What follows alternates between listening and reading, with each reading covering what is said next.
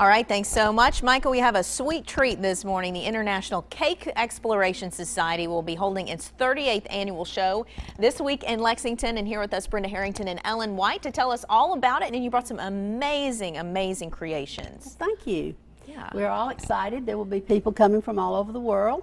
Uh, we're expecting about 2,500 people here, and uh, there are opportunities for uh, the public to come in to see all the sugar works that will be on display. I mean, this is not just about how it tastes. I mean, I'm sure it tastes good, but it, I mean, it's good enough to eat. I mean, it looks good enough to eat, I should say. With all the creativity that goes into this, just explain that for me. Well, these are just very small examples of what will be on display at the convention center uh, this weekend. There will be uh, five or six hundred Mm-hmm. displays of sugar art. We have a life-size horse made from cake and a life-size jockey. Whoa. The show cake has an animated horse race.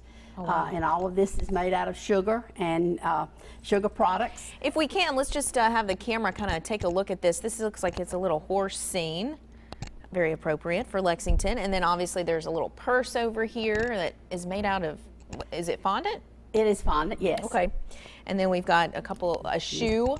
I mean, that's just, amazing. Well, it, it, you will be amazed this weekend at the show to see all of the things that will be uh, made from sugar there. And and you have your own bakery too, both of you. We do. And you're in, in Richmond? I'm in Richmond. Okay. I started in 2009. Okay. And what's it been like for you, you know, having been doing this just a little while? Has it been?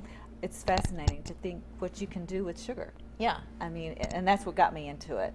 Is it's fascinating to see how they did it, and once you learn how to do it, and the people you meet along the way, and the, the techniques you learn, it's just it's fascinating. It's a lot of fun. Oh wow! And so, if, if people in Richmond want to find you, where can they can reach me Cakes by Ellie? Okay.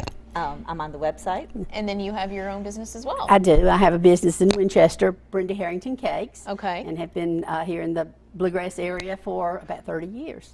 Oh wow, so, that's amazing. it's fun. But we want everybody to know about the Saturday and Sunday opportunities. Okay. Saturday there will be a live cake challenge similar to what they have on television. There are four teams, one from Peru, one from wow. Pennsylvania, one from Tennessee, and one from Arkansas.